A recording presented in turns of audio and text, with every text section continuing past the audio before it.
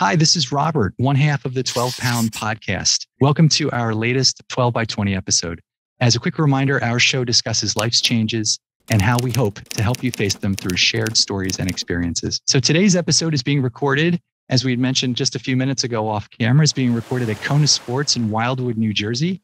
And we are thrilled to welcome our guest, Shaun Tomson. Hi, Shaun. How are you? Good. It's great to be here, especially looking out on a surf shop with boards uh, displayed. It is, yeah. We we we didn't hang them up just for this episode. They were here prior to the recording, but we were very happy to uh, yeah to be here in Kona. And it's so nice that you have some ties, even if they're from a few years back, to Wildwood, New Jersey. It's an important place for our listeners and some of the locals here. And it's nice to know that someone uh, who's been surfing as long as you have and is successfully knows our, our little island. Yes, I know. Uh, I know New Jersey well. And in fact, uh, my wife and I had a clothing brand called Solitude, which used to be sold uh, at the store. So, uh, and, right the way across um, uh, in New Jersey, all sorts of stores. In fact, I was in uh, New Jersey in uh, Point Pleasant about uh, a month and a half ago, uh, involved the launch of my new book, The Surfer and the Sage, at one of the surf shops there called the Ocean Hut. that's great. Oh, that's great. I'm so happy you, you've been here recently. I'm just going to give a quick background on you. I think a lot of listeners who are tuning in today are very familiar with you and your, your history in surfing. Uh, but a lot's happened since you've left the sport. I know you're still tied to it in many ways, uh, but I, I just found it fascinating the changes that you've been through in your career over the last several years and, and how you've really made this incredibly successful business for yourself over and over again. So, Shaun is a former world surfing champion. Shaun was named one of the 10 greatest surfers of all time. He has a bachelor's in business administration and a master's of science in leadership from Northeastern University. Shaun has created two popular apparel brands. One he had mentioned, Solitude, and the other is Instinct, which he co founded with his wife, Carla. So, he's the author of the best selling book, Surfer's Code and the Code. The Power of I Will, available on Amazon. Today, Shaun is traveling the world sharing his academically tested code leadership method from corporate boardrooms to university classrooms, as well as rural schools in his home country of South Africa. Thank you so much for being here, Shaun. We really appreciate it. Great, Robert. It's wonderful uh, to be on, and I'm hoping that uh, your listeners enjoy my perspective and also um, this little method that uh, we're going to be talking about that has certainly helped many people. And uh, it's really simple, it's uh, transformational, and uh, it's called the code and it's open source code so it can be used by anyone in any way shape or form it's free so tell us about what was the genesis of the code when did it start for you? The code started about uh, close to 20 years ago. Um, it started uh, as a result of an environmental problem at a local beach here where i surf called Rincon. It's a very famous surfing beach.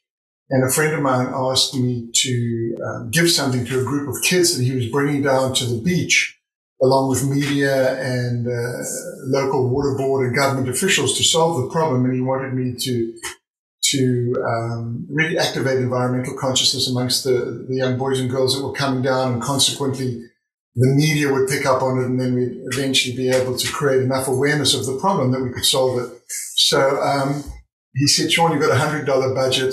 You know, he's a, he's a very big, uh, big budget guy. And I went home that night and thought, like, how can I empower about 100 kids with a $100 budget? So I wrote a little card. You know, the number 12, obviously, it, it, it has significance uh, to you guys. And uh, I wrote the fundamental lessons that surfing had taught me about life, every line beginning with I will. And it just came out at 12. I mean, I, I didn't aim it to come out at 12, but I will always paddle back out. I will never turn my back on the ocean. I will realize that all surfers are joined by one ocean. Just simple concepts uh, about uh, character and about purpose. It turned into a groundswell. I started printing more and more of the cards. And my wife and I had uh, a, our apparel business, Solitude, at the time, and we started putting the, the little code cards into the pockets of our shirts and our board shorts. And you know, thousands and thousands of these cards were getting distributed out in the culture. We were making lots of clothes, so many, many thousands of these cards were getting out there. And then ultimately ended up uh, in, in, in, a book and then it ended up in another book and ended up in a third book. So um, it sort of really helped me go down a different path in my life, these simple 12 lines, every line beginning with I will. We want to thank our sponsor, Rich Asset Management. But before we do, we need to read you a quick disclosure. A securities offered through Kestra Investment Services, LLC, member FINRA. Investment advisory services offered through Kestra Advisory Services, an affiliate of Kestra IS. Kestra IS and Kestra AS are not affiliated with Rich Asset Management or any other entities mentioned herein. To view Form CRS, please visit www.kestrafinancial.com backslash disclosures. Rich Asset Management, based in Marmora, New Jersey, is a premier financial services firm dedicated to helping clients reach an enjoyable retirement. Dedicated to educating Cape May and Atlantic County, Rich Asset Management is committed to providing leading edge financial advice supported by a first class client service experience.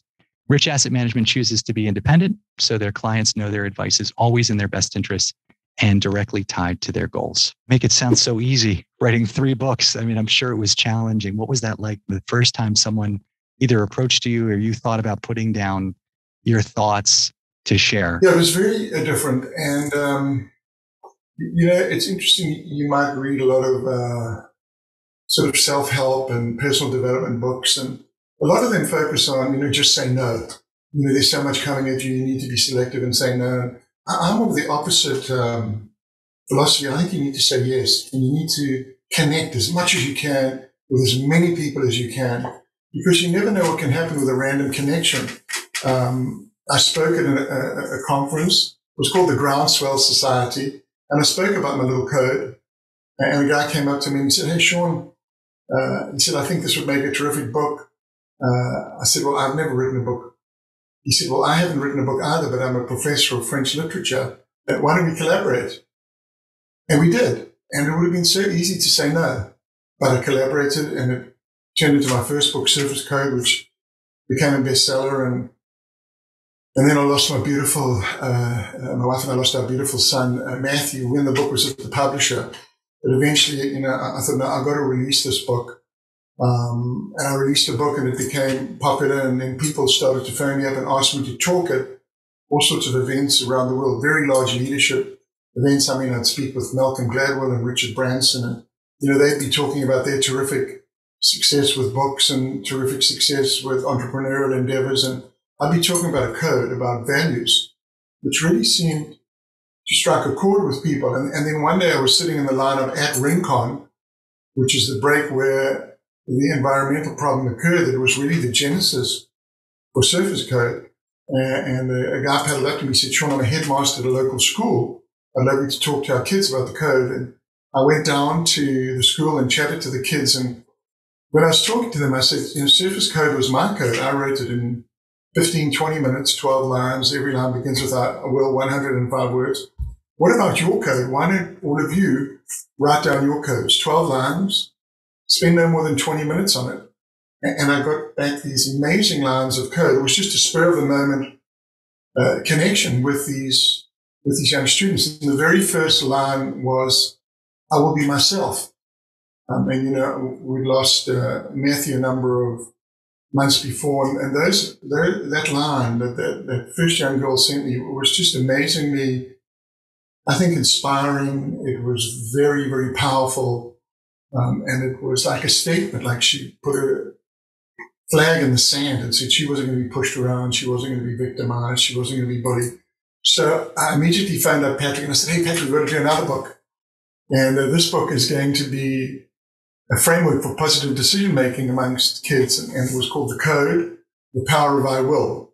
So, and every chapter title was written by student. I will pray, I'll have faith, and, and then we we we, we built uh, stories from my surfing experiences uh, around those twelve chapters, and then the book came out and, and became popular, and then you know I started speaking to hundreds of thousands of students and, and the best universities in the world and then also the best companies in the world, you know, Google, Cisco, I mean, uh, so many massive GM, uh, Disney, Gap. I mean, just I speak to massive companies about how to find purpose. A couple of years ago, a friend introduced me to another friend at lunch. He said, "I thought you guys would, would, would you know, would like each other." And uh, this guy was a, a Pulitzer nominated philosopher and poet, and we started chatting. And in five minutes, we had a nice connection. His name is Noah benShea. He said, Hey, Shaun, let's write a book together. So I went, okay. we'll call it The Surfer and the Sage. And he said, A Guide to Surviving Around Life's Waves. So that's what can happen. Another book came out. Uh, I launched on the Today Show. It went to number one on Amazon in its genre. And it all has come from two things. One is saying yes, and two saying I will. How simple is that? it really is. That's amazing. Uh, it's it is interesting if just you know that ability to say yes and to kind of uh, not to oversimplify, but kind of go with the flow. And you know when you're in a conversation, being able to you know to take it somewhere where you may not have expected, but you you know you you you go with it nonetheless. Well, let me start by saying I'm terribly sorry for the loss of your son. I appreciate you sharing that with us and our audience. I'm, I'm sure that was very difficult. Um, and I, I, am sure uh, devastating. And it, I'm sure since then, maybe in some ways, though it sounds strange, inspiring because you've, you've done so much by creating this content that people can, can look to, particularly those people who are looking for a will to go forward and think about next steps. And if you think about your own career, and, and tell me if I, I, read this correctly, that uh, your first trip to Hawaii as a surfer was a bar mitzvah gift. Is that true? That's true.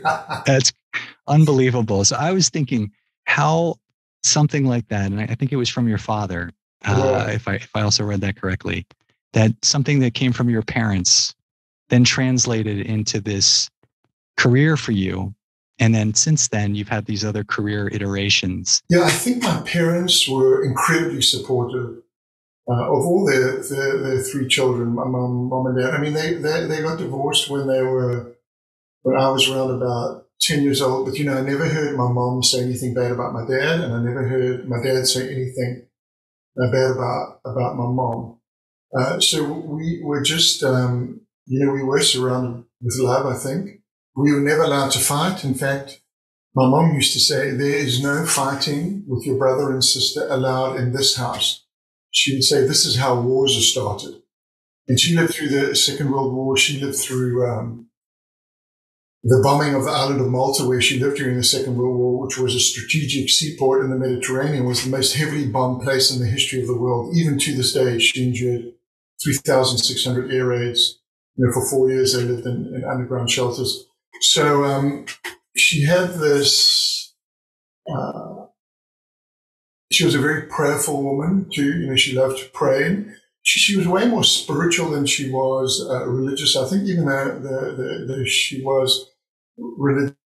So um, you know, there was this sort of beautiful softness and this importance of, of relationships between a brother and sister, mom and dad, uh, you know, father and son. My dad loved sport. He loved me to succeed. Um, but he, he was never overbearing. Um, and, I, and I think it's a wonderful lesson for all parents is not to be there to direct traffic, not to be there to direct career, but just to be there as a supporter, to be there uh, for your children with advice, but not judgment um, and not prescription. So uh, when I was in the water and I knew my dad was watching me competing, when I came in, he would never tell me, well, you should have done this or you should have done that. Or he would never be on the beach with a flag or, or towel telling me which way to go. It was my responsibility. So both of them gave us a lot of responsibility, but they had, uh, uh, you know, they trusted, they, they, they, they, trusted all of us. So I think with that responsibility and trust came this sort of measure of, um, well, you know, you, you should be, uh, you should always try to be your best and try to be at your best.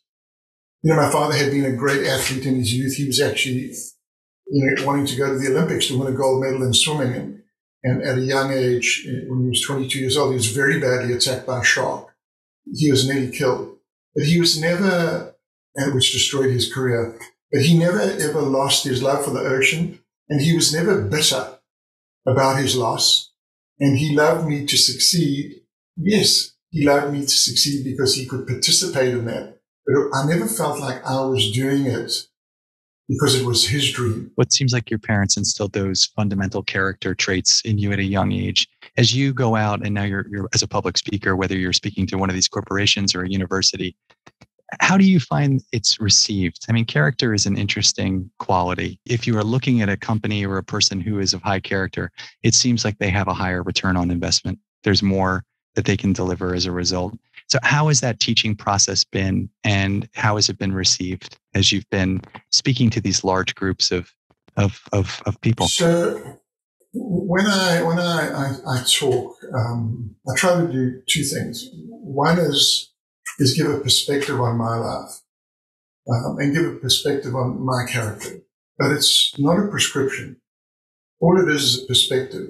You know, I'll, I'll tell a story about commitment and I'll tell a story about connectivity um, and perseverance and resilience. You know, I, I just want to show the important traits that have helped me uh, in my life.